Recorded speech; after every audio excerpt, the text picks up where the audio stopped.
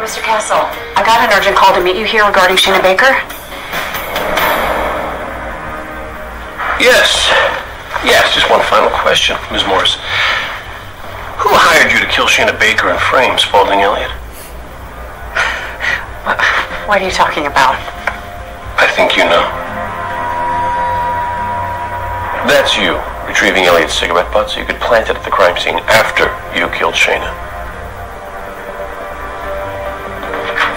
Nicole Morris, you're under arrest for the murder of Shana Baker.